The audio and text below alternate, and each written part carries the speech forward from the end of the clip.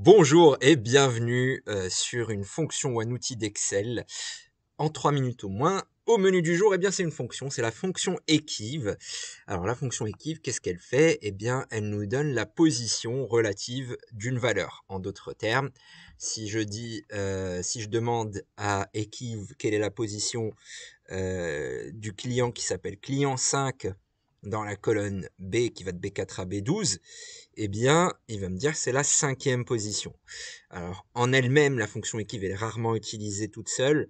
Bien sûr, elle va plutôt être combotée avec, eh bien, euh, soit une fonction index, soit une fonction euh, décalée. Nous, on va juste s'intéresser à équive, et donc en termes de structure, eh bien, on a la valeur cherchée, c'est la valeur critère qui va nous permettre de retrouver la position. Donc c'est client 5 ici. Dans quel tableau Eh bien, ça va être de B4 à B12.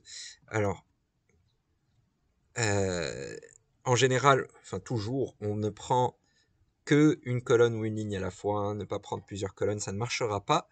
Et le type, on peut choisir inférieur, correspondance exacte, supérieure. Vu que c'est du texte, eh bien, on peut choisir que du exact. Et c'est les trois arguments de notre fonction équive. Et on obtient bien cinquième position pour client 5. Et puis si je change, eh bien ça va être dynamique. Si je mets 7, il va me dire que c'est la septième position.